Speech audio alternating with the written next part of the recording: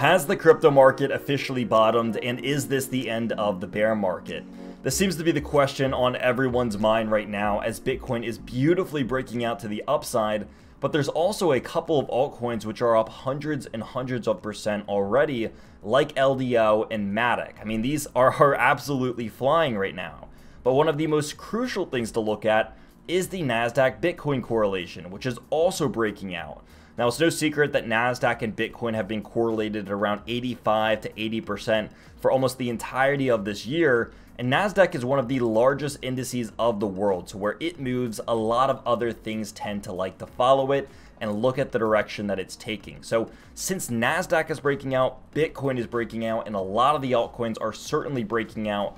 I think it's time to break this down and also check out everything that is happening in the news because there is a lot of really positive fundamentals that are also happening here as well. So, welcome back to the channel. My name is Brendan and this is the Crypto Analyst channel. If you're new here, it's great to have you. And if you are a reoccurring member, it's also great to have you here on this beautiful Friday. Uh, as I said, let's go ahead and get started with the technical analysis first, and then we'll dive into a couple of these really important fundamental, I guess, news findings that have happened over the last 24 hours or so. So with Bitcoin, Bitcoin actually just broke a very crucial level of resistance. This has been a fairly like common and easy to tell zone for Bitcoin where it has just been ricocheting in between support and resistance and support and resistance back and forth. And this was really no surprise because this is what we have done on repeat, where we have just been bouncing in these zones before moving downwards. However, this one tends to look a little bit different because of the way that it is forming. Um, most notably, we broke above the 50-day moving average on the daily time scale. This is unique because we didn't do this in the previous, I guess, consolidation zone, and we didn't even get any candle body closings above this since we have ultimately broken below like $50,000. I mean, the last time that Bitcoin was above the 50-day moving average with candle consolidations was back in April of this year, so months and months ago. So it's nice to see that with Bitcoin moving back upwards, it's not only broken the 20-day moving average, the 50-day moving average, but also, as we'll take a look at here in just a second, the 200 weekly moving average and the top resistance of this consolidation zone. Now, I've been a big advocate that if Bitcoin can break out of this 50-day moving average, there are two very likely zones that I see it moving to. Now, number one, I see it moving to this first little bit of previous candle body, I guess, bottoming from the Terra Luna situation, which is just right around $25,500. And $500.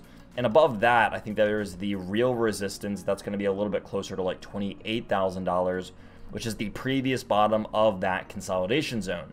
Now, this is actually something that I have been going over with the Crypt Nation crew, so if you're a, a member over there, you're probably already familiar with this information.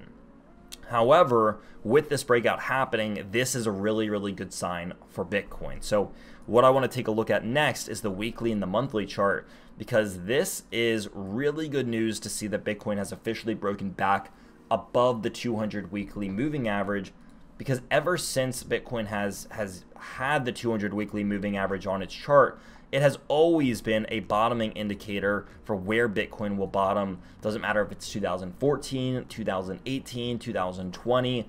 It has been a consistent bottom zone for Bitcoin. So with us being back above this zone, all I really want to see now is a weekly candle body closing above this, and I would feel a lot more comfortable. And one of the other things that we have been talking about is this beautiful triple bullish divergence on the weekly MACD and then the weekly and monthly RSIs being right at their prime bottoming zones for where they have bottomed out at almost every major Bitcoin and crypto bear market in history. Um, and so this is just an example of the weekly chart. And then if we roll this over to the monthly chart, you guys can see just how kind of simple and laid out this is. Um, the charts look very familiar. Uh, it's a clear bottoming area that Bitcoin and the crypto market likes to bottom at. So would I be surprised if there is a bottom here? The answer is ultimately no, but I think it's still too early to say whether or not Bitcoin's bottomed. I think if anything, we're seeing a really, really nice bounce right now. However, in order to determine a bottom, I think we need to see some sort of higher swing low, and I think we'll see that once we start hitting major resistance and start falling back down in price action. And then if we can have a nice rally and, and really a bottom off of Bitcoin from that area, then I would feel pretty confident. So maybe something uh, like that could look like is if we continue to move up, we hit resistance, and we come back down and we bounce off this area really, really well. And then we form a higher swing high then that's where I would be like, okay, this could actually be the potential bottom of Bitcoin. But that's not to say that there are not a lot of resistance levels above us. Again, we've been in a bear market now for for really quite some time. I think it's been maybe seven, eight months already. So if it's going to be a bottom, there's still a lot of resistance above us, and there's a lot of resistance levels to break. Now on NASDAQ, we talked about this very important resistance level breaking. This was just a local resistance. We had already used this as resistance a couple of times previously. And I think the even more important thing to note is that NASDAQ held on to that 200 weekly moving average uh, very similarly to how Bitcoin did. Now, Bitcoin actually ended up breaking this level. NASDAQ never did. In fact, this has been the zone and I feel like I mention this every video, but it's really important. But this has been the zone where NASDAQ has held every single time since the 2008 crash. And guess what it's doing right now? It's bouncing and it is flying to the upside right now. So really, really nice bounce. And that's exactly what you want to see. But again, that doesn't mean that it's out of the woods yet. So it is breaking local resistance. It's breaking its 200 weekly moving average and holding that rather. And then it's also breaking out of the 50 day and the 20 day moving average. So significant areas that were previously used as resistance on NASDAQ. We can see over here with the orange line and then again with the orange line. Every time we were rallying up, we were rejecting this area and rejecting this area a number of times. And now we are actually breaking above that. So if you are a fan of what's happening over here, it's a good thing for the Bulls. Certainly a good argument for the Bulls.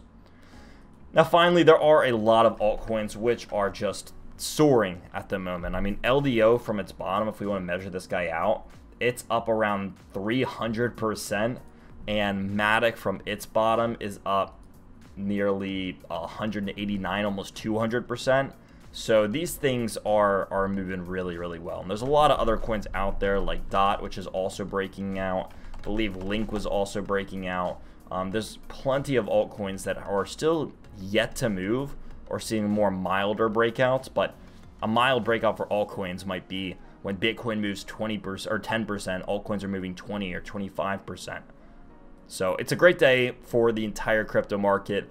But let's begin to dive into what's happening over here in the news. And what do you know? We have more money coming into the world of blockchain and crypto. AI based startup Optic is actually raising $11 million to put the NF in NFTs. This is just another form of money. I think we do this every single week where we show that money is still flowing in the blockchain and it's still flowing into crypto despite us being in an extended bear market. Some could argue one of the worst bear markets that crypto has ever experienced. Yet there are still tens and hundreds of millions and billions of dollars coming into this industry because the big money knows that it's not a short-term play. Not to say that that excuse me, not to say that there are not short-term opportunities, but the big money acknowledges that there's a lot of long-term opportunity as well.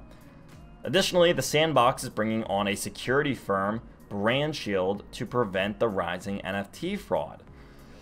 This comes after, you know, to no one's really surprise, there have been a number of scams in the NFT, I guess, space or industry, whatever you want to call it. And with that, Sandbox is trying to be a little bit proactive and try to stop it before it even happens uh, and really kind of take this time in the bear market to make sure that all of their nooks are in a cranny and they can be prepared for the next bull run because in the previous bull run, NFTs went wild. And I think they're just trying to be a little bit more prepared this time around. Now, the sudden rise in EVM compatible ZK rollups is a, a rather new thing that we're seeing pushed, or at least the start they started getting pushed at the beginning of this year, I would say. They existed well before that, but this year they have been all over the news, whether it's Immutable X or a ton of other platforms uh, trying to implement ZK rollups, they are certainly on the rise. In fact, this is what this week's, this coming week's Crypt Nation newsletter is, is going to be about.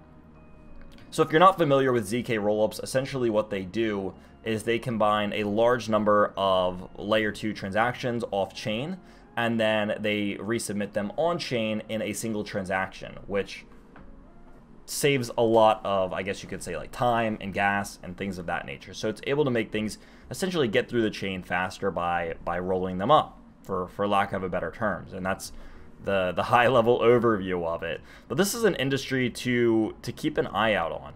Um, there's a lot happening in this ZK rollup and EVM space. So if you're not familiar with it, you know, I don't want to spend an excessive amount of time on it, but this is a really good article to help you get caught up. And yeah, there's a lot happening over here. Now, Coinbase stock has popped nearly 10% as cryptocurrencies have begun to recover. Things like Bitcoin and Ethereum, and we already looked at them. I mean, Bitcoin's on a tear right now. It's already up 3% on today. And from its bottom, it's up I mean, what is this? Almost 37, 38%. So is it any secret that one of the largest exchanges and publicly traded companies that is tied to crypto is moving up with the crypto industry? Uh, you know, obviously Coinbase stock has taken a pretty big hit, but so is every tech company and every crypto based anything. So I don't think it's to anyone's surprise that cryptocurrency was down a lot with the crypto market and with the tech industry, and now it's moving back up with tech. Um, really to no one's surprise, but it's good to see that Coinbase stock is recovering alongside a lot of cryptocurrencies as well. Now, finally, French banking giant BNP has fully announced that they are going to be entering the crypto custody space. Or so maybe it's not fully announced yet, but it looks like they're going to be entering into the into the crypto space. This just goes to show that more traditional sources, more large money, institutional sources are coming into the world of crypto, or in the least, they're interested with it. I like to always get at least one or two of these every single video to show that number one, no, excuse me, number one, big money's coming in and institutional or excuse words are hard sometimes institutions are still very interested in cryptocurrency and blockchain as a whole so the adoption is still there the interest is still there the money is still there so i don't think it really matters what price is doing in the short term people get so caught up in what's happening in the short term price that they don't pay attention to what's happening fundamentally behind the scenes and understand what big money and big institutions are truly interested in. And if you can find that out and you can figure that out and acknowledge that and get rid of all the fear and the FUD, then you're in a lot better of a place because you know where the big money wants to push the industry.